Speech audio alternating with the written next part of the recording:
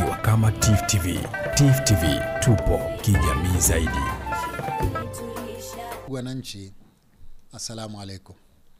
Naomba nianze kwa kumshukuru Mwenyezi Mungu kwa kutupa uhai na afya njema na kutuwezesha kufikia siku ya leo tukiwa katika mkesha wa maadhimisho ya miaka 60 ya mapinduzi matukufu ya Zanzibar. Tunapoadhimisha sherehe za mapinduzi, tuna wajibu pia wa kuwakumbuka waasisi wetu chini ya marehemu mzee Abedi Amani Karume, viongozi na wananchi wenzetu waliotangulia mbele ya haki ambao waliitumikia nchi yetu kwa moyo, ujasiri na uzalendo. Tunamwomba Mwenyezi Mungu awalazi pema peponi, na wale walio hai, Mola awape afya njema na umri mrefu, tuendelee kushirikiana nao katika kujiletea maendeleo. Ndugu wananchi, nachukua fursa hii kuwashukuru wananchi wote kwa kujitokeza kwa wingi katika matukio mbalimbali yaliyoandaliwa katika maadhimisho ya miaka 60 ya mapinduzi. Ni matarajio yangu kuwa na kesho, siku ya kilele, mtajitokeza tena kwa wingi katika uwanja wa Amani ili kufanikisha sherehe zetu. Tofauti na mara nyingine zote, safari hii sherehe yetu itafanyika mchana ili kutoa fursa kwa waumini wa dini ya Kiislamu kupata nafasi ya kutekeleza ibada ya sala ya Ijumaa. Ndugu wananchi, mara hii tulikuwa na miradi iliyozinduliwa 65 na miradi 45 imewekewa mawe ya msingi. Hii ni idadi kubwa sana ya miradi ambayo hatujawahi kuifikia katika kipindi cha sherehe kama hizi. Vilevile tumeandaa matukio makuu maalum na sherehe za aina yake ambazo kilele chake kitafanyika katika uwanja wa Amani. Kadhalika tuna ujio wa baadhi ya wageni mashuhuri tutakaokuwa nao katika maadhimisho yetu haya. Ndugu wananchi, mafanikio tuliyoyapata miaka 60 tokea mapinduzi ya mwaka 64 yametokana na uongozi thabiti wa waasisi wa taifa letu na viongozi wote wa awamu zilizotangulia kwa ushirikiano na uzalendo kati yao na nyinyi wananchi.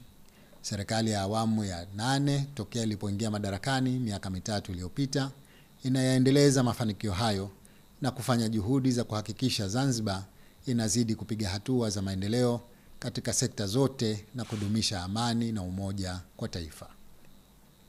Nilipoingia madarakani mwaka 2020 nilieleza dhamira yangu ya kuunganisha malengo ya mapinduzi na uchumi, nikilenga kuimarisha jitihada za kukuza uchumi ili kustawisha maisha ya wananchi wa Zanzibar. Lengo la serikali ninayoiongoza ni kuendeleza umoja, mshikamano na maridhiano ili kila Mzanzibari apate fursa ya kuchangia maendeleo na kunufaika na matunda ya mapinduzi kwa misingi ya usawa. Namshukuru Mwenyezi Mungu kwa mafanikio tunayoendelea kuyapata katika kuifikia dhamira hiyo katika kipindi cha miaka mitatu ya serikali ya awamu ya nane.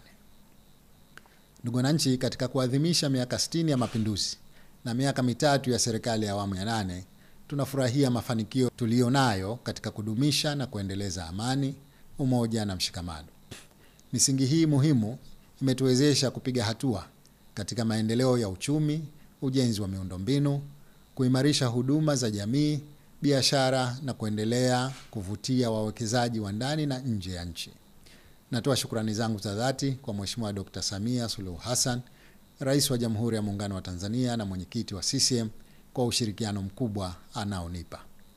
Vilevile nawashukuru viongozi wa kisiasa, viongozi wa dini na asasi za kijamii, viongozi wa vyombo vya ulinzi na usalama vya Jamhuri ya Muungano wa Tanzania na vya Serikali ya Mapinduzi ya Zanzibar pamoja na wananchi wote kwa kunipa ushirikiano na kuendelea kudumisha amani na utulivu nchini kwa faida ya kizazi cha sasa na cha baadaye.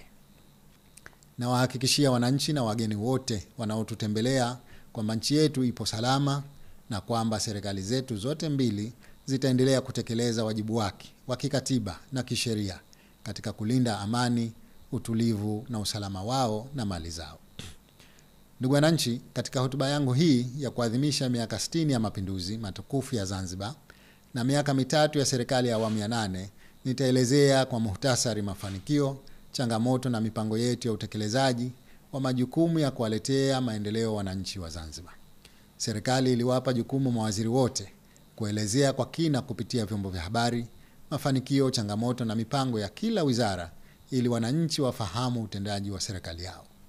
Nawashukuru waheshimiwa mawaziri kwa kutekeleza kwa mafanikio agizo hilo. Ndugu wananchi, juhudi zinazochukuliwa na serikali zimewezesha uchumi wetu kuzidi kuimarika. Thamani ya pato halisi la taifa imeongezeka kutoka shilingi trilioni 3.116 mwaka 2020 na kufikia thamani ya shilingi trilioni 3.499 mwaka wa 2022.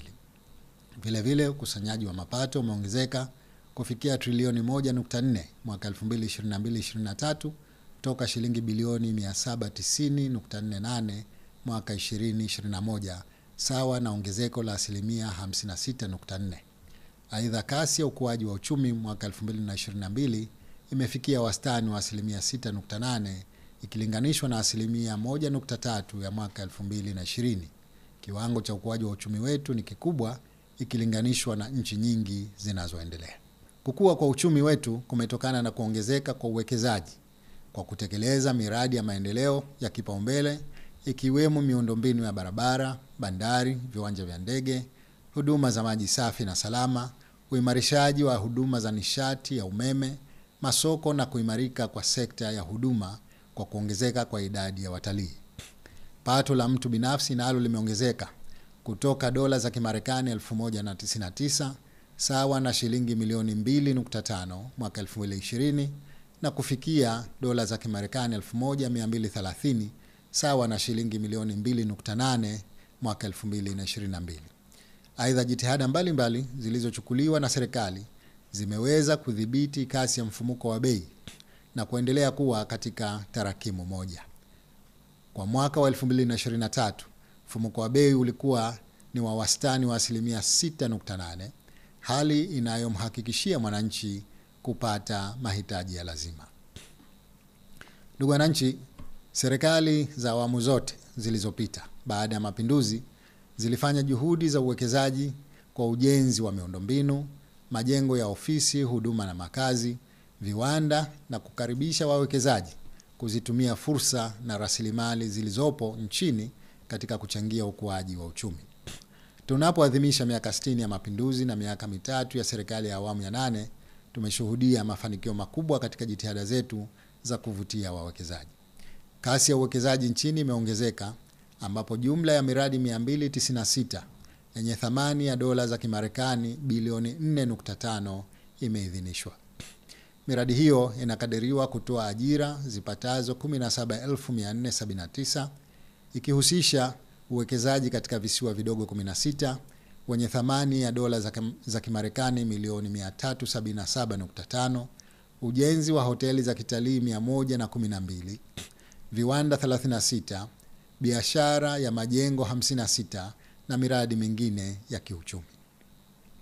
Mafanikio haya yametokana na mageuzi makubwa yaliyofanywa na serikali ikiwemo uimarishaji wa huduma zinazotolewa na mamlaka ya kukuza uwekezaji Zanzibar, yani ZIPA, ambapo sasa wawekezaji wanaweza kupata huduma zote za uwekezaji katika kituo kimoja, yani one stop center ndani ya saa 24. Serikali inaendelea kuchukua hatua za kuvutia wawekezaji ikiwa ni pamoja na kutangaza fursa zilizopo katika maeneo ya bandari jumuishi ya Mangapwani na ujenzi wa miundombinu ikiwemo barabara, maji na umeme katika maeneo ya uwekezaji. Ndugu wananchi, kwa kuzingatia umuhimu wa biashara kwa Zanzibar, Serikali ya Mapinduzi ya Zanzibar imechukua hatua mbalimbali kuimarisha mazingira ya ufanyaji wa biashara. Tunapoadhimisha miaka 60 ya mapinduzi na miaka mitatu ya serikali ya awamu ya nane, sekta ya biashara ya usafirishaji na uingizaji bidhaa kwa ujumla inaendelea kuimarika ambapo kwa mwaka wa 2022 Zanzibar imefanya biashara yenye thamani ya shilingi za Kitanzania trilioni 1.4 ikilinganishwa na shilingi bilioni 913.1 kwa mwaka wa 2020 sawa na ongezeko la asilimia 57.6. Zanzibar imesafirisha nje bidhaa zenye thamani ya shilingi bilioni 180.4 kwa mwaka wa 2022 sawa na ongezeko la asilimia 174.7 ikilinganishwa na usafirishaji wa bidhaa zenye thamani ya shilingi bilioni 65.7 kwa mwaka wa 2020. Kwa mwaka wa 2022 Zanzibar imesafirisha tani 6452.8 za karafuu zenye thamani ya shilingi bilioni 118.3 ikilinganishwa na tani 3506.8 zilizosafirishwa mwaka 2020 zenye thamani ya shilingi bilioni 38.37 sawa na ongezeko la fedha asilimia 208.1. Kwa upande wa mwani, Zanzibar imesafirisha tani 13972.5 zenye thamani ya shilingi bilioni 16 kwa mwaka wa 2022 ikilinganishwa na tani 11382.6 zenye thamani ya shilingi bilioni 11.7 kwa mwaka wa 2020 sawa na ongezeko la asilimia 36.8. Kuhusu biashara baina ya Zanzibar na Tanzania bara, mwaka 2022 Zanzibar imesafirisha bidhaa zenye thamani ya shilingi bilioni 37.64 ikilinganishwa na bidhaa zenye thamani ya shilingi bilioni 15.03 zilizosafirishwa mwaka wa 2020. Kwa upande wa uagizaji, katika kipindi cha mwaka 2022 Zanzibar imeagiza bidhaa zenye thamani ya shilingi bilioni 375.8 kutoka Tanzania bara ikilinganishwa na uagizaji wa bidhaa zenye thamani ya shilingi bilioni 243.8 kwa mwaka wa 2020. Ndugu wananchi, kwa madhumuni ya kuleta mapinduzi ya kiuchumi, serikali imechukua hatua za kuimarisha uwezeshaji wa wananchi kiuchumi na kupambana na umaskini. Serikali imepata mafanikio katika uimarishaji wa vikundi vya ushirika ambapo jumla ya vikundi 1546 vya ushirika vimesajiliwa. Idadi hiyo imewezesha kufikia vikundi 3662 vya ushirika vilivyosajiliwa nchini. Kupitia fedha za ahueni ya uviko 19, serikali imetoa jumla ya shilingi bilioni 60. Fedha hizi zinajumuisha shilingi bilioni 29 zilizotolewa kwa ajili ya sekta ya uchumi wa bluu, shilingi bilioni 16 kwa ajili ya ujenzi wa masoko na shilingi bilioni 15 kwa ajili ya programu ya Inuka yenye lengo la kutoa mikopo kwa wajasiriamali na wafanyabiashara. Programu ya Inuka ilianza na mtaji wa shilingi bilioni 15. Hadi sasa mikopo yenye thamani ya shilingi bilioni 22.4 imeshatolewa kupitia programu hii. Ongezeko la thamani la mikopo hiyo linatokana na fedha za marejesho ambazo zinaendelea kutolewa upya kwa maana ya revolving fund. Mikopo hiyo imewezesha kuzalisha ajira za moja kwa moja kwa wananchi 43360. Aidha, programu ya Khalifa Fund imetoa mikopo yenye thamani ya shilingi bilioni 2.1 kwa miradi 18 ya wananchi. Kadhalika, kupitia mfuko wa uwezeshaji wananchi kiuchumi, jumla ya shilingi milioni 852.17 zimetolewa kwa wananchi. Kupitia programu ya mikopo kwa makundi maalum, hadi sasa serikali imefanikiwa kukusanya jumla ya shilingi bilioni 1.9 kutoka halmashauri za wilaya. Fedha hizi zimelengwa kutumika kwa ajili ya kutoa mikopo kwa wanawake, vijana na watu wenye ulemavu. Ndugu wananchi, katika kuhakikisha suala la uwezeshaji wananchi kiuchumi linapata mafanikio, ujenzi wa miundombinu umezingatiwa, ambapo vituo viwili vya kusarifu asali vinavyogharimu shilingi milioni 529.29 vimejengwa Unguja na Pemba. Aidha, ujenzi wa kituo cha mafunzo ya usarifu mazao utakaogharimu dola za Kimarekani milioni 1.29 umeanza kwa matayarisho ya awali. Kadhalika, wajasiriamali wamepatiwa vifaa vya uzalishaji wa asali ikiwemo mizinga yenye thamani ya shilingi milioni 459.9, vifaa vya nyuki vyenye thamani ya shilingi milioni 194.3, vifaa vya maabara vyenye thamani ya shilingi milioni 34.4 na pikipiki tisa zenye thamani ya shilingi milioni 35.9. Serikali pia imeanzisha wakala ili kuimarisha usimamizi wa utoaji wa mikopo kwa kushirikiana na benki ya CRDB. Vile vile mafunzo yanaendelea kutolewa kwa wajasiriamali ili kuwajengea uwezo zaidi, ambapo wajasiriamali 2225 wameshapatiwa mafunzo hayo kwa kipindi hiki. Jitihada hizi za serikali ya awamu ya nane katika kipindi cha miaka mitatu zimewezesha kupatikana kwa jumla ya ajira laki moja themanini na saba elfu mia sita hamsini na moja. Idadi hiyo imevuka malengo ya ajira laki moja na themanini elfu kwa miaka mitatu sawa na ongezeko la asilimia 104.3. Ndugu wananchi, serikali imezingatia haja ya kuwapatia wajasiriamali na wafanyabiashara wadogo mazingira bora ya kufanyia kazi zao. Ujenzi wa vituo 14 vya wajasiriamali na wafanyabiashara wadogo vilivyogharimu shilingi bilioni 16.03 vimejengwa Unguja na Pemba, ambapo baadhi yake vimeanza kutumika. Vilevile vile jumla ya masoko kumi yamejengwa kwenye wilaya sita yenye thamani ya shilingi bilioni 4.93. Aidha, ujenzi wa masoko makubwa ya kisasa unaogharimu shilingi bilioni 102.4 unaendelea katika maeneo ya Mwanakwerekwe, Jumbi na Chuini. Ni matumaini yetu kuwa masoko haya yatakamilika mwaka huu 2024 na kuanza kutumika. Hadi kufikia tarehe 20 Disemba 2023, jumla ya wajasiriamali 7227 wamesajiliwa na kupatiwa vitambulisho katika serikali za mitaa Unguja na Pemba. Vilevile, vile mafanikio yamepatikana katika ukusanyaji wa mapato kwa serikali za mitaa ambapo ukusanyaji wa mapato umeongezeka kwa asilimia 26 kutoka shilingi bilioni 15.24 zilizokusanywa kwa mwaka 2020 hadi kufikia shilingi bilioni 20.7 mwaka wa 2023. Ndugu wananchi, Serikali ya Mapinduzi ya awamu ya nane imekuja na dhana ya uchumi wa bluu unaotilia mkazo matumizi ya rasilimali za bahari na shughuli nyingine za kiuchumi zinazohusiana na bahari. Tunapoadhimisha miaka 60 ya mapinduzi na miaka mitatu ya serikali ya awamu ya nane, mafanikio yamepatikana katika sekta kuu za uchumi wa bluu ambazo ni utalii, uvuvi na kilimo cha mwani, bandari, mafuta na gesi asilia na biashara inayohusiana na usafiri wa majini. Kuhusu utalii, ni sekta iliyopewa mazingatio katika kuleta fedha za kigeni na ajira katika awamu zote za serikali baada ya mapinduzi ikilinganishwa na hali ilivyokuwa kabla ya mapinduzi. Juhudi mbalimbali zimefanywa na viongozi wa awamu zilizopita ili kuongeza michango ya sekta hii katika pato la taifa pamoja na upatikanaji wa ajira. Sekta ya utalii imeendelea kupata mafanikio makubwa. Idadi ya watalii imeongezeka kwa asilimia 143.6 kutoka watalii laki mbili sitini elfu mia sita arobaini na nne mwaka elfu mbili na ishirini hadi watalii laki sita thelathini na nane elfu mia nne tisini na nane mwaka wa ishirini ishirini na tatu baada ya uviko 19.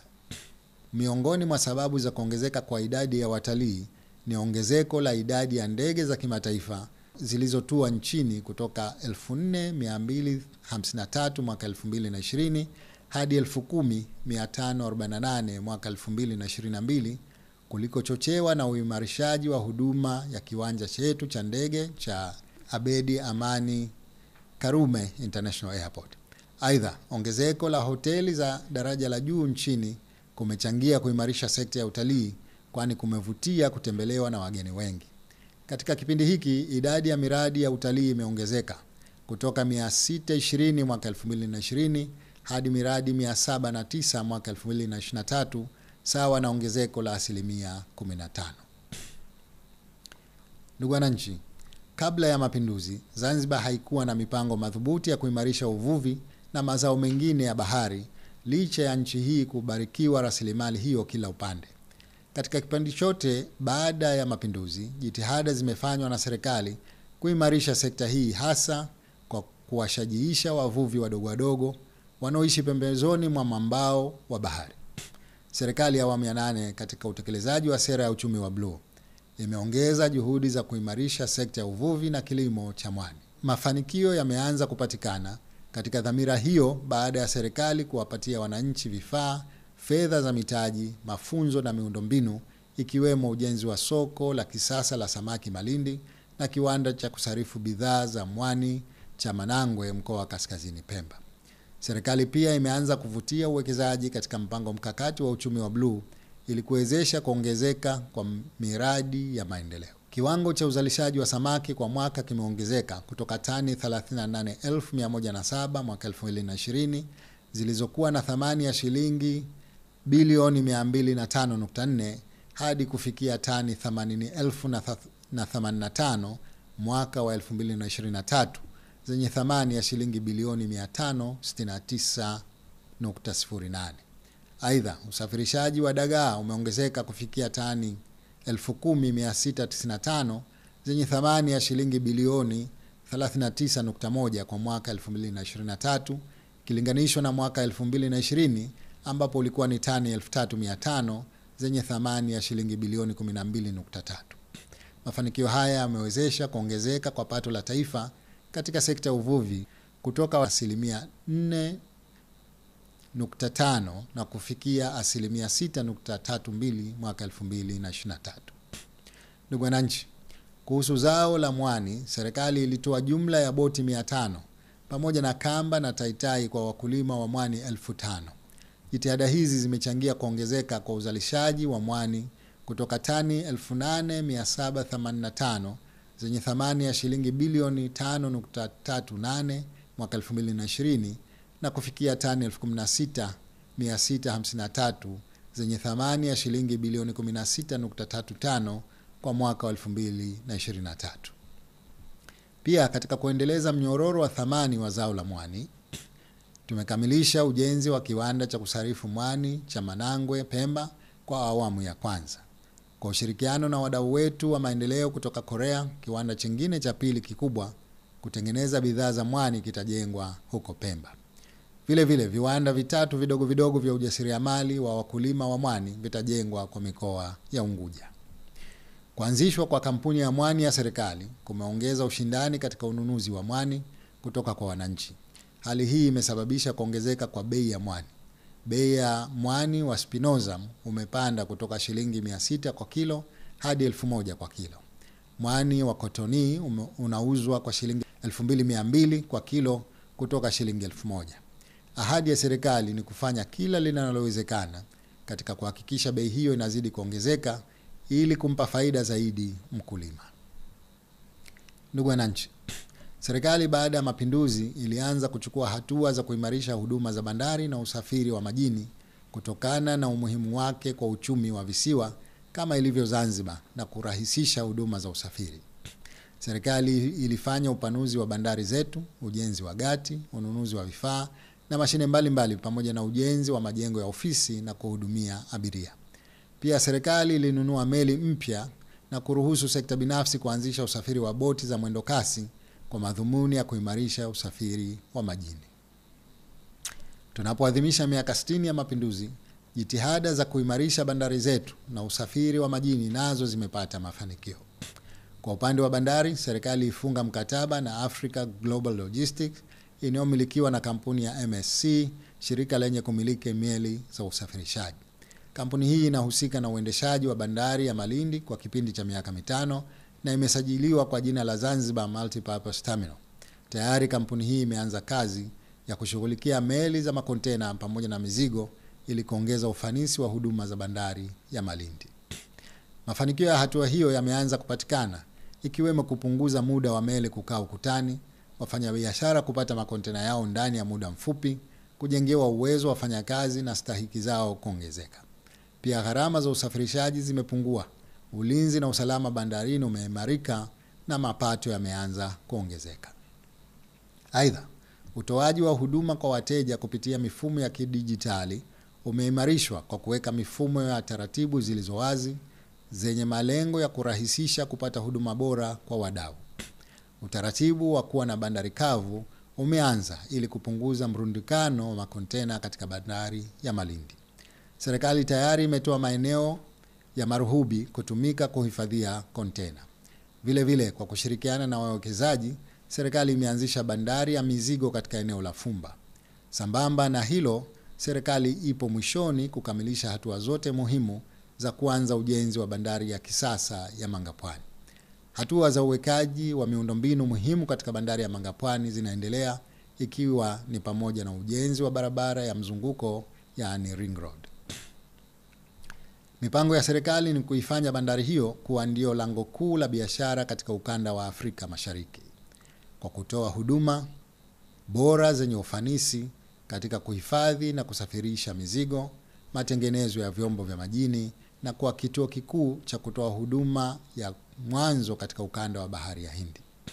Pamoja na hatua hiyo, serikali ina dhamira ya kuzifanyia matengenezo makubwa bandari zote nchini ili zitoe huduma zilizo bora. Aidha, serikali imetiliana saini na kampuni ya ZF Devco ya Uholanzi juu ya mradi wa ujenzi wa bandari kubwa ya kisasa ya abiria katika eneo la Mpiga Duri. Tumedhamiria kuikarabati bandari ya Malindi iwe, iwe kubwa zaidi ndani ya Afrika Mashariki ya kutoa huduma za abiria na kuruhusu meli kubwa za kitalii kuweza kufunga nanga hapa Zanzibar. Katika kuimarisha usafiri wa baharini, serikali imeamua kuifanyia matengenezo meli ya Mapinduzi tu chini ya wataalamu kutoka Jamhuri ya Korea ya Kusini wakisaidiana na wahandisi wetu wa ndani ili kukabiliana na changamoto ya usafiri iliyopo hasa baina ya Unguja na Pemba. Nachukua fursa hii kuwashukuru kwa dhati wenzetu wa sekta binafsi, kampuni ya Azam Marine na Zanfast Ferries kwa mchango wao katika kusaidia kukabiliana na changamoto hii kwa kuimarisha usafiri kati ya bandari ya Unguja, Pemba, Dar es Salaam na Tanga. Ndugu wananchi, sekta ya mafuta na gesi asilia haikupewa mazingatio kabla ya mapinduzi. Kufuatia taarifa za kuwepo kwa rasilimali hizo hapa nchini, serikali baada ya mapinduzi katika awamu mbalimbali mbali za uongozi ilianza kuchukua hatua za kufanya tafiti zitakazowezesha kupatikana kwa mafuta na gesi asilia hapa Zanzibar. Serikali ya awamu ya nane nayo inaendelea na jitihada hizo. Serikali imekamilisha zaidi ya ugawaji wa vitalu katika eneo la baharini kupitia taarifa zilizokabidhiwa na serikali ya Jamhuri ya Muungano wa Tanzania mwezi wa Agosti mwaka 2022. Kazi hiyo imefanywa kwa kushirikiana na kampuni ya kimataifa ya Schlumberger ambapo vitali kumi na mbili vimegaiwa katika eneo la baharini. Aidha, katika mwezi Julai 2023 serikali ilitangaza rasmi kufungua maeneo ya uwekezaji kupitia vitalu vilivyogawiwa. Hatua hiyo ina lengo la kukuza sekta hii kwa kuwakaribisha wawekezaji wa utafutaji na uchimbaji mafuta na gesi asilia. Ndugu wananchi, ujenzi wa miundombinu ni muhimu katika kuchochea kasi ya ukuaji wa uchumi na maendeleo ya ustawi wa jamii. Katika miaka 60 ya mapinduzi, jitihada mbalimbali zimefanywa na serikali katika ujenzi wa barabara na uimarishaji wa viwanja vya ndege. Serikali ilianza ujenzi wa barabara za lami na madaraja, shamba na mijini na kufanyiwa matengenezo kwa vipindi tofauti pamoja na kujengwa upya katika awamu mbalimbali mbali za serikali kwa lengo la kurahisisha usafiri. Serikali ya awamu ya nane nayo imeanza kwa mafanikio kazi ya ujenzi wa barabara kuu kilomita 103.5, barabara za ndani mijini na vijijini kilomita 275 pamoja na bara, ujenzi wa barabara za mjini kilomita 100 na madaraja ya juu mawili katika manispaa ya mjini katika manispaa ya mji wa Zanzibar. Miradi hii inatekelezwa na makampuni mbalimbali mbali toka nje ya nchi. Ndugu wananchi, tunapoadhimisha miaka 60 ya mapinduzi na miaka mitatu ya serikali ya awamu ya nane, mafanikio makubwa yamepatikana katika kuimarisha huduma za viwanja vya ndege na usafiri wa anga. Mageuzi makubwa yaliyofanywa na serikali kwenye viwanja vya ndege na usafiri wa anga yamewezesha mapato ya mamlaka ya viwanja vya ndege kuongezeka kutoka shilingi bilioni 11 mwaka 2019 20 hadi kufikia shilingi bilioni 29 mwaka wa 2022 23. Aidha, kuna ongezeko kubwa la abiria wanaoingia na kutoka Zanzibar kwa kutumia viwanja vya ndege kutoka abiria milioni moja laki sita na elfu tisa mia mbili thelathini na tano mwaka wa 2019 kabla ya uviko na 840,599 mwaka wa 2020 wakati wa uviko hadi kufikia abiria milioni moja laki tisa na nne mia nne hamsini na tisa mwaka wa elfu mbili na ishirini na tatu. Ndugu wananchi, mafanikio mengine ni kuanza kazi kwa kampuni ya Emirate Leisure inayoendesha biashara katika jengo jipya la Terminal 3 pamoja na kampuni ya Dinata inayohusika na uhudumiaji wa ndege. Kupitia kampuni hizi, uwanja wa ndege wa Karume umeweza kupata tuzo ya kimataifa kuhusu mabadiliko ya huduma bora za chakula na vinywaji kutoka Airport Food and Beverage Hospitality Conference and Awards Bangkok nchini Thailand. Kadhalika, serikali imeingia makubaliano na kampuni ya Segap ya Ufaransa kuisaidia management katika huduma za uendeshaji viwanja kwa lengo la kuimarisha utoaji huduma za usafiri wa anga hapa nchini. Vile vile, kazi ya upembuzi ya kinifu imekwisha anza kwa ajili ya ujenzi wa jengo la nne la abiria katika kiwanja cha Karume. Ripoti ya awali tayari imeshakamilika na serikali ipo katika hatua za kukamilisha utaratibu wa upatikanaji wa fedha kwa ajili ya ujenzi wa jengo hilo. Kwa upande wa ujenzi wa uwanja wa ndege wa Pemba, serikali imeshakamilisha hatua za tathmini na kuanza kulipa fidia. Sambamba na hilo, serikali imekamilisha kazi ya uwekaji wa taa za kuongoza ndege katika njia ya kurukia ndege ili kuziwezesha ndege kutua na kuruka kwa usalama zaidi wakati wa usiku na wakati wa mvua na mawingu. Ndugu wananchi, katika awamu zote baada ya mapinduzi, serikali ilifanya jitihada za kuwezesha upatikanaji wa huduma za umeme kwa wananchi pamoja na miradi ya kiuchumi. Tunapoadhimisha miaka 60 ya mapinduzi na miaka mitatu ya serikali ya awamu ya nane, mafanikio yamepatikana katika kuimarisha upatikanaji wa huduma za umeme nchini. Kwa lengo la kuhakikisha wananchi wanapata huduma za umeme kwa urahisi, serikali imepunguza bei ya kuunganisha umeme kwa wananchi kwa wastani wa asilimia 50. Punguzo hilo ni kutoka shilingi laki nne na sitini na nne elfu kufikia laki mbili kwa gharama za uungaji usiozidi mita 30. Vile vile kutoka shilingi milioni moja na laki saba kufikia laki sita na tisini elfu kwa gharama za uungaji wa nguzo moja na kutoka shilingi milioni mbili na laki sita kufikia milioni moja na arobaini elfu kwa gharama za uungaji wa nguzo mbili. Hatua hiyo imesababisha idadi ya wateja wanaoomba kuunganishiwa umeme kuongezeka hadi kufikia wastani wa wateja mia mbili kwa siku katika kipindi hiki kutoka wastani wa wateja hamsini kwa siku hapo awali. Wananchi wengi wameweza kufikiwa na huduma ya umeme ambapo shirika la ZECO limeweza kuwaungia umeme wananchi 93124 Unguja wakiwa 78122 na Pemba 15002 sawa na ongezeko la wateja kwa asilimia 45 kwa kipindi cha miaka mitatu.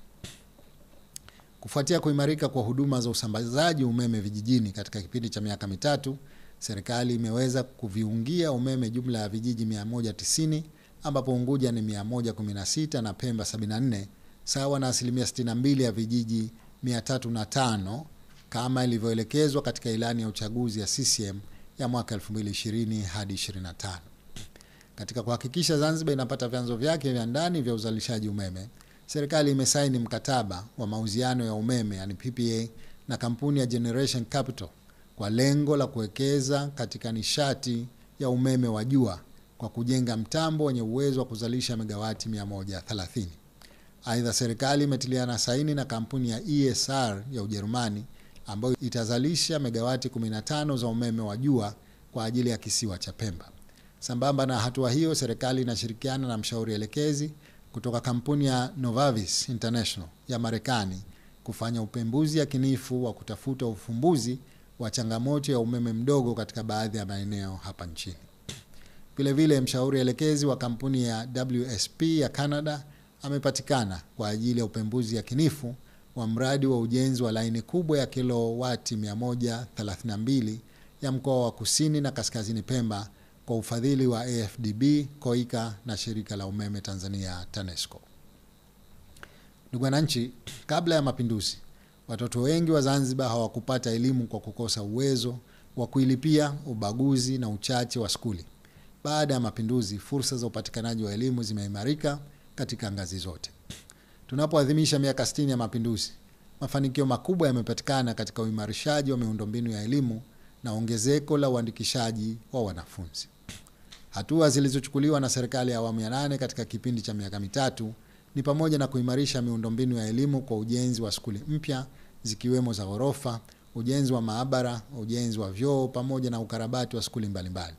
Jumla ya madarasa 2273 yamejengwa ambapo madarasa 1131 yamekamilika na tayari yanatumika.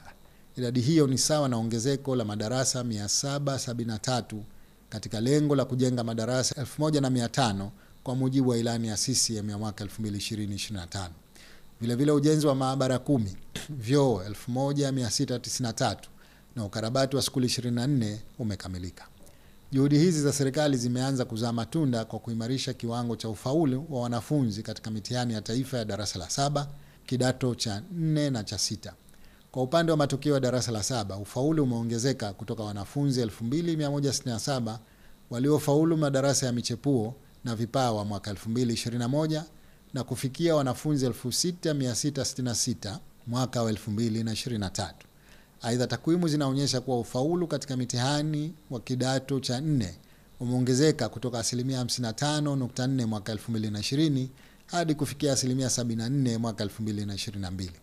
Pia matokeo ya kidato cha sita ya mwaka 2023 yametupa taswira bora zaidi ambapo asilimia 99.3 ya wanafunzi wamefaulu kuendelea na masomo ya chuo kikuu.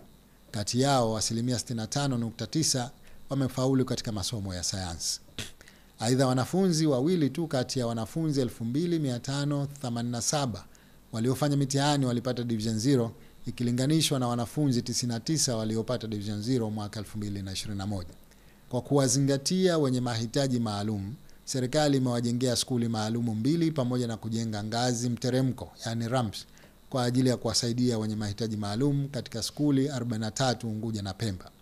Pia serikali inakamilisha matayarisho ya ujenzi wa vyuo vitano vya mafunzo ya amali na kuvifanya kuwa kumi kwa madhumuni ya kuzidi kupanua fursa za elimu ya ujuzi. Serikali pia imeimarisha mafunzo ya juu ya fani za ufundi katika taasisi ya Karume ya sayansi na teknolojia hadi ngazi ya, ya shahada ya kwanza. Aidha, katika kuimarisha elimu, jumla ya madawati elfu nne na kumi na mbili yaliyogharimu shilingi bilioni 1.98 kwa ajili ya skuli za msingi yamenunuliwa na ajira elfu mbili na hamsini za waalimu zimetolewa ili kupunguza tatizo la upungufu wa waalimu. Tunapoadhimisha miaka 60 ya mapinduzi, mafunzo ya waalimu yameendelea kuimarishwa katika vyuo viwili vya ualimu vya serikali na katika vyuo vikuu vilivyopo Zanzibar, ambapo kabla ya mapinduzi kulikuwa na chuo kimoja tu cha ualimu cha Betras.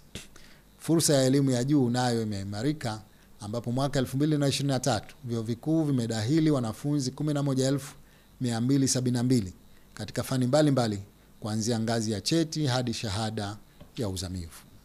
Ndugu wananchi, bajeti ya serikali katika sekta ya elimu imeongezeka kutoka shilingi bilioni 265.5 mwaka 2021-22 na kufikia shilingi bilioni 457.2 mwaka wa 2023-24 sawa na ongezeko la asilimia 72. Aidha, serikali imeendelea kuwapatia mikopo na udhamini vijana wanaojiunga na elimu ya juu ndani na nje ya nchi. Bajeti ya serikali kwa bodi ya mikopo ya elimu ya juu imeongezeka kutoka shilingi bilioni 19 kwa mwaka 2022/23 na kufikia shilingi bilioni 29.4 kwa mwaka 2023/24. Ongezeko hili limenufaisha wanafunzi wa elimu ya juu 6060 wanaosoma vyuo vikuu vya ndani na nje ya nchi. Hatua hii imewezesha kuzalisha wataalam kwa wingi katika fani mbalimbali mbali, na kupunguza tatizo la kutegemea waalimu kutoka nje ya Zanzibar. Ndugu wananchi, juhudi kubwa imefanywa na serikali katika kipindi cha miaka 60 iliyopita kwa madhumuni ya kuimarisha huduma za afya ambazo kabla ya mapinduzi zilitolewa kwa ubaguzi na hazikutosheleza mahitaji. Katika miaka mitatu ya serikali ya awamu ya nane, mafanikio yamezidi kupatikana kutokana na mabadiliko makubwa ya muundo na uendeshaji wa huduma za afya nchini. Serikali imejenga hospitali kumi za wilaya ambazo zimeshaanza kazi. Aidha, serikali imedhamiria kujenga hospitali za mikoa ambapo kwa sasa ujenzi wa hospitali ya mkoa wa Mjini Magharibi iliyopo Lumumba umeshakamilika na imeshafunguliwa. Kuwepo hospitali hizi kumeboresha mfumo wa rufaa nchini kwa wagonjwa kuanza kupata huduma katika vituo vya afya vya msingi, hospitali za wilaya, badala ya wagonjwa wote kukimbilia hospitali ya rufaa ya Mnazi Mmoja. Hospitali za wilaya hivi sasa zinatoa huduma bora za uzazi, upasuaji, maabara, radiolojia na ICU katika wilaya zote Unguja na Pemba. Hatua hii imefungua ukurasa mpya wa upatikanaji wa huduma za afya hapa nchini. Mafanikio mengine ni kuimarika kwa upatikanaji wa dawa na vifaa tiba katika hospitali na vituo vya afya kutokana na kuongezeka kwa bajeti ya dawa kutoka shilingi bilioni 17 mwaka 2020 hadi shilingi bilioni 37.3 mwaka 2023/24. Hivi sasa vituo vya afya vinapelekewa dawa kila mwezi. Dawa za Pemba zinapelekwa moja kwa moja na msambazaji bila kupitia bohari kuu ya dawa ya Unguja iliyopo Maruhubi. Ndugu wananchi, kwa kipindi cha miaka mitatu serikali imetoa ajira mpya elfu moja na hamsini katika sekta ya afya. Kati ya hizo 738 Unguja na 312 Pemba. Madaktari bingwa wameongezeka kutoka 50 mwaka 2020 hadi kufikia 90 mwaka 2023. Maslahi ya wafanyakazi yameboreshwa, mishahara yameongezwa kutokana na kiwango cha elimu, muda wa ajira na kada muhimu. Mafanikio mengine ni kuanza kwa mfuko wa huduma za afya kuanzia Oktoba mwaka 2023. Huduma zake zinapatikana katika hospitali za umma na binafsi. Hadi kufikia tarehe 31 Oktoba 2023, jumla ya watumishi wa sekta ya umma 53490 wameingizwa katika mfumo. Ndugu wananchi, uimarishaji wa huduma za afya nchini umepelekea kupunguza tatizo la mama wajawazito kujifungulia majumbani na vifo vya watoto wachanga. Vifo vinavyotokana na uzazi vimepungua kutoka vifo 120 kwa kila vizazi hai laki moja mwaka 2020 hadi vifo 99 kwa kila vizazi hai laki moja mwaka wa 2022. Hali hii kwa kiasi kikubwa imechangiwa na uhakika wa upatikanaji wa dawa, vifaa tiba, wataalam na kuimarika kwa elimu ya afya kwa jamii. Vilevile, ufanisi umepatikana baada ya kuanza kwa utaratibu wa kutoa huduma za afya kwa ushirikiano na sekta binafsi.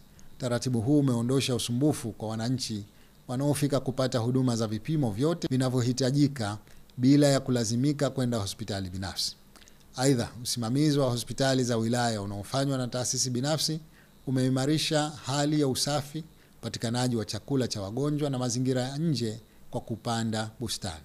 Utaratibu huu unahakikisha dawa zote muhimu zinapatikana katika hospitali zote za wilaya. Ndugu wananchi, sekta ya maji ni miongoni mwa sekta muhimu kwa maisha ya watu na maendeleo yao. Baada ya mapinduzi, serikali ilianza jitihada za kuwapatia huduma ya maji safi na salama wananchi wa Zanzibar wanaoishi mijini na vijijini. Jitihada hizo zimeendelezwa katika awamu zote za serikali ya mapinduzi ya Zanzibar. Tunapoadhimisha miaka 60 ya mapinduzi na miaka mitatu ya serikali ya awamu ya nane, huduma ya maji safi na salama zimeimarika kwa kuongeza uzalishaji, uhifadhi na usambazaji. Katika awamu hii ya nane tumeweza kutekeleza miradi miwili mikubwa. Miradi hiyo ni mradi wa uhuishaji wa uimarishaji wa mfumo wa usambazaji maji Zanzibar wenye thamani ya dola za Marekani milioni 92.18 na mradi wa ahueni ya uviko 19 wenye thamani ya shilingi bilioni 40.2. Katika kipindi hiki cha miaka mitatu, jumla ya visima 102 vimechimbwa vyenye uwezo wa kuzalisha maji lita milioni 201 laki tano hamsini na mbili elfu kwa siku. Hatua hiyo itawezesha uzalishaji wa maji kuongezeka kufikia lita 345 milioni 388,735 tutakapomaliza kufungua miradi yote ya maji ambapo mahitaji ya sasa ni lita 264 milioni 568,220. Jumla ya skimu tisa mpya za maji tumeshazifungua rasmi katika kipindi hiki cha maadhimisho ya miaka 60 ya mapinduzi kati ya skimu 17 mpya. Ndugu wananchi, jumla ya matangi 15 ya maji yenye uwezo wa kuhifadhi maji lita 134 milioni yamejengwa katika mkoa wa Mjini Magharibi kupitia mradi wa uhuishaji na uimarishaji wa mfumo wa usambazaji maji Zanzibar. Aidha, matangi kumi yamejengwa Unguja na Pemba yenye ujazo wa lita milioni moja kila moja kupitia mradi wa ahueni ya uviko 19 yenye jumla ya ujazo wa lita milioni kumi kuwezesha uhifadhi wa maji lita 144 milioni katika matangi mapya 25 ya miradi yote miwili. Kabla ya ujenzi huo kulikuwa na matangi 64 kwa Unguja na Pemba yenye uwezo wa kuhifadhi maji lita 46 milioni 915 elfu. Kukamilika kwa miradi miwili mikubwa kutaweza kuwa na uhifadhi wa maji lita 190 milioni laki tisa na 15 elfu. Kiwango hicho ni sawa na ongezeko la asilimia 144 ya uhifadhi.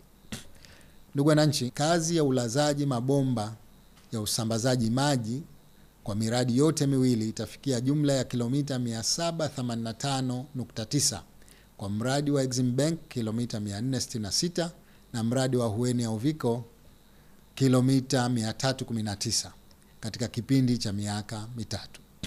Aidha, serikali kupitia ZAWA imeanzisha mfumo shirikishi unaosaidia kusimamia utekelezaji wa huduma ya maji zikiwemo kuwafahamu wateja wa mamlaka ya maji, kupeleka bili, kupokea malipo, kupata taarifa za uvujaji na ujazo wa maji katika matangi. Jitihada hizi za serikali hadi sasa zimewezesha kupeleka huduma za maji safi na salama katika shehia 342 kati ya shehia 388 kwa kusambaza mtandao wa maji Unguja na Pemba. Lengo la serikali ni, ni kuwafikishia huduma endelevu za maji safi na salama wananchi wote wa Zanzibar kwa saa 24.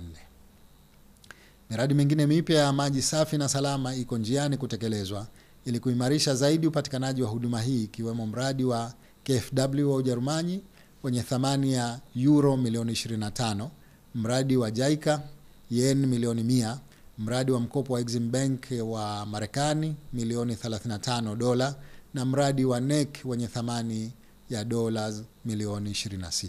Ndugu wananchi, ujenzi wa majengo kwa ajili ya makazi, ofisi na biashara umepewa umuhimu katika awamu zote za serikali baada ya mapinduzi.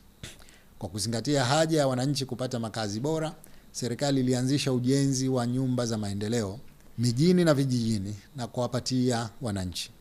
Aidha, majengo ya huduma za kiofisi, hospitali na skuli yalijengwa baada ya mapinduzi ili kupata mazingira mazuri ya kufanya kazi na kuongeza ufanisi. Vilevile, ujenzi wa majengo ya umma na binafsi ya biashara unaendelezwa.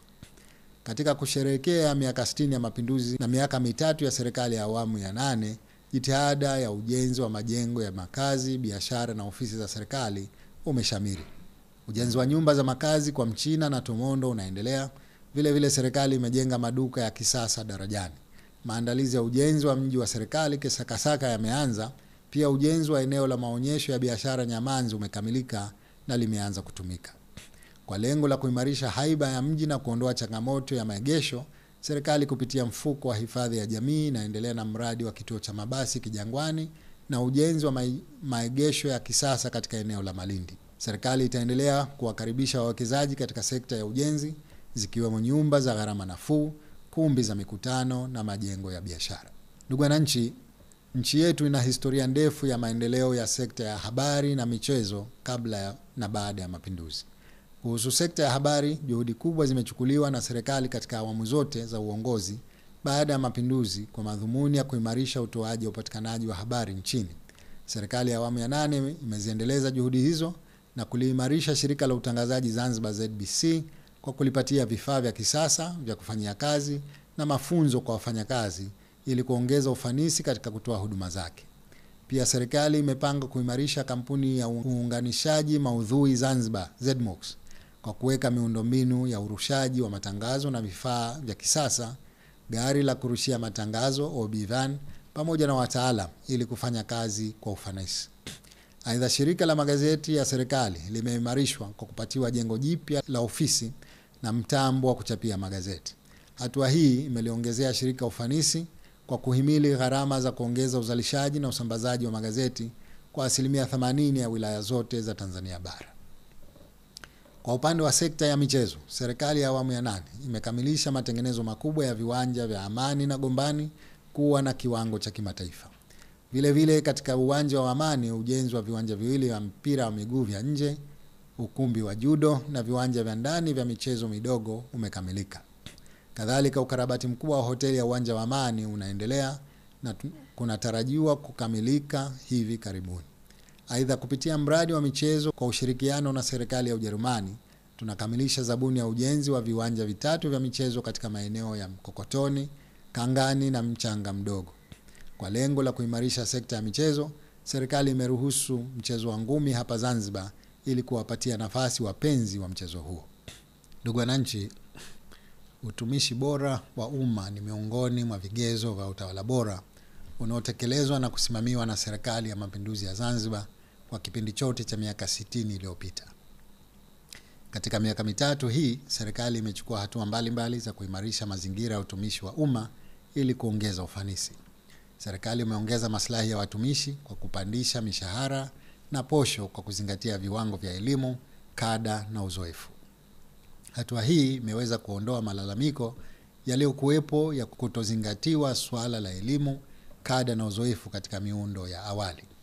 Katika marekebisho hayo, serikali ilitumia jumla ya shilingi bilioni 58.1 kwa mwezi kutoka shilingi bilioni 35.5.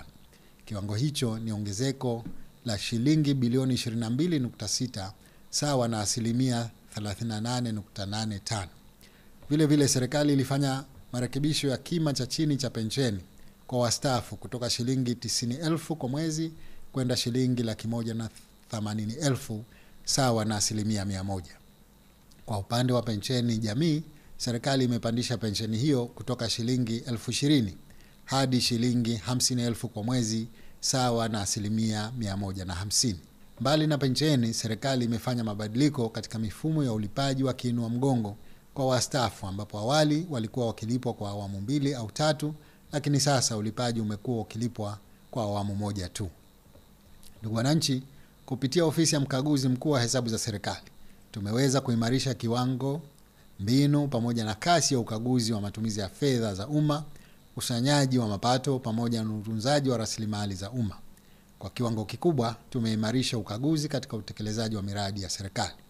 Kwa lengo la kuongeza uwazi, tumeanzisha utaratibu wa kusomwa ripoti ya mkaguzi na mdhibiti wa hesabu za serikali hadharani. Hatua hiyo imesaidia sana kukomesha ubadhirifu katika utekelezaji wa miradi ya serikali. Aidha, niliahidi kuendeleza uchumi wa kidijitali na kuhakikisha kwamba tunatumia mifumo ya kielektroniki katika utoaji huduma na uendeshaji wa serikali. Katika kipindi hiki tumeendeleza na kuanzisha mifumo mbalimbali ambapo hivi sasa mifumo 29 muhimu inaendeshwa na kusimamiwa na wakala wa serikali mtandao. Ndugu wananchi, sekta ya sheria ni miongoni mwa sekta kongwe nchini katika uendeshaji na usimamizi wa masuala ya kusimamia haki. Tunapoadhimisha miaka 60 ya mapinduzi na miaka mitatu ya serikali ya awamu ya nane, mafanikio makubwa yamepatikana katika sekta ya sheria. Zanzibar imepiga hatua katika kuimarisha utendaji wa mahakama katika ngazi zote. Hivi sasa mahakama maalum ya kusikiliza kesi za udhalilishaji imefunguliwa rasmi katika mahakama za mikoa Unguja na Pemba. Pia mfumo wa uendeshaji kesi kwa njia ya kielektroniki tayari umeandaliwa na kufanyiwa majaribio kwa ajili ya kuongeza kasi ya uendeshaji wa kesi. Juhudi zetu hizi zimeimarisha upatikanaji wa haki kwa wananchi. Katika kuhakikisha mahakama zetu zina mazingira mazuri ya kufanyia kazi, serikali inazifanyia matengenezo makubwa mahakama katika ngazi mbalimbali mbali, Unguja na Pemba. Ndugu wananchi, kuimarika kwa ushirikishwaji wa wananchi katika vyombo vya kutunga sheria ni matokeo ya mapinduzi matukufu ya mwaka 64. Zanzibar ilianzisha baraza la wawakilishi mwaka 80 ili kutoa fursa ya kuwakilishwa wananchi katika kujadili na kupitisha mipango ya maendeleo, kusimamia serikali na kutunga sheria. Kazi kubwa imefanywa na baraza la wawakilishi katika utekelezaji wa majukumu yake tokea lilipoanzishwa. Katika kipindi hiki cha miaka mitatu, baraza la wawakilishi limeweza kupitisha kwa sheria mbalimbali na kupitisha bajeti ya serikali. Vile vile kupitia kamati za baraza, baraza la wawakilishi linahoji utendaji wa taasisi za serikali na kutoa ushauri kwa madhumuni ya kufanikisha utekelezaji wa majukumu ya serikali. Nachukua fursa hii kutoa shukrani kwa Mheshimiwa Spika, naibu spika, wenye viti, wajumbe wote na watumishi wa baraza la wawakilishi kwa ushirikiano wanaotupa katika kutekeleza mipango ya serikali. Ndugu wananchi, Muungano wa Tanzania ambao ni matunda ya mapinduzi, mwaka huu wa 2024 unatimiza miaka 60 tokea kuasisiwa kwake. Muungano wetu umetuwezesha kupata mafanikio makubwa ya kisiasa, kiuchumi na ustawi wa jamii. Tokea kuanzishwa kwa utaratibu wa kushughulikia hoja za muungano mwaka 2006, jumla ya hoja 25 zimejadiliwa na 18 kati ya hizo zimepatiwa ufumbuzi. Aidha, Zanzibar imeendelea kunufaika na mgawanyo wa mapato yanayotokana na misaada kutoka nje. Vilevile vile hivi sasa Zanzibar inafaidika na miradi kumi ya maendeleo inayotekelezwa katika pande mbili za Jamhuri ya Muungano wa Tanzania ikiwemo ile ya TASAF na PADEP. Miradi hii imekuwa ikileta mabadiliko makubwa katika miundombinu, upatikanaji wa huduma mbalimbali mbali za kiuchumi na kijamii kwa wananchi.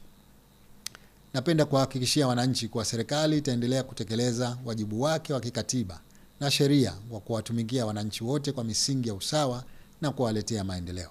Tutahakikisha tunaitekeleza mipango yetu ya maendeleo kwa mujibu wa ilani ya uchaguzi ya CCM ya mwaka 2020-2025, dira ya maendeleo ya Zanzibar ya mwaka 2050, malengo ya kikanda na kimataifa, pamoja na ahadi tulizozitoa katika kampeni za uchaguzi wa mwaka 2020. Ndugu wananchi, namalizia hotuba yangu kwa kutoa shukrani kwa wasaidizi wangu wakuu, Mheshimiwa Makamu wa Kwanza wa Rais na makamu wa pili wa rais kwa kutekeleza vyema dhamana zao.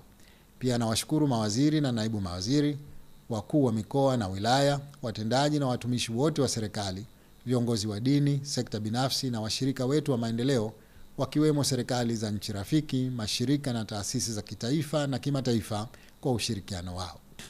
Natoa shukrani maalum kwa Rais wa Jamhuri ya Muungano wa Tanzania Mheshimiwa Dr. Samia Suluhu Hassan, viongozi na wanachama wote wa Chama cha Mapinduzi, jumuiya zake na viongozi wengine wa vyama vya siasa kwa kutupa ushirikiano katika kufanikisha majukumu ya serikali hadi tunapoadhimisha miaka 60 ya mapinduzi yetu.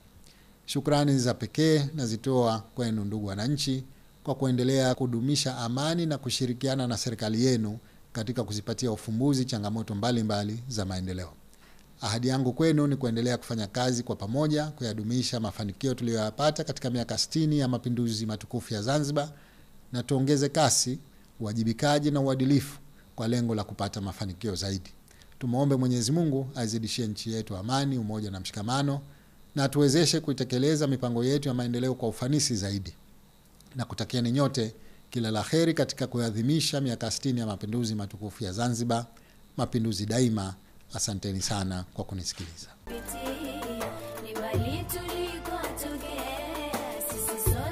Tukiwa kama TIFF TV, TIFF TV tupo kijamii zaidi.